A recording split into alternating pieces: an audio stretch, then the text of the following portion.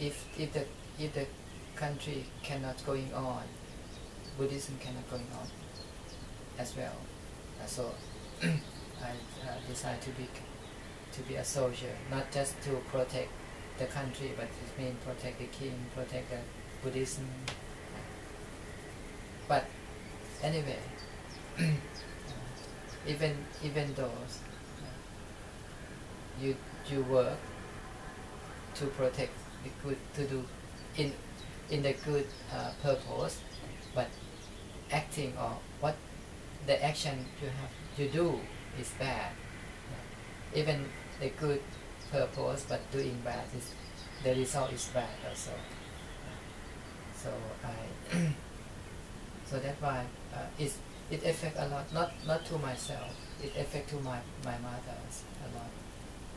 At that time, she whenever I work, I have to go to work to fight around throughout Thailand. She just uh, watching the TV. Oh, where's my, where's my son? Where's my son?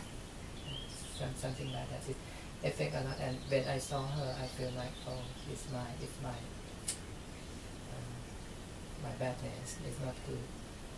Even uh, she, yes, she proud. She's, she was proud, and my father was proud. But deeply, she feel uh, unhappy that, that one thing that uh, concerned me a lot. And yes, whenever uh, I have done something as a the duty of the soldier, this came to my mind a lot.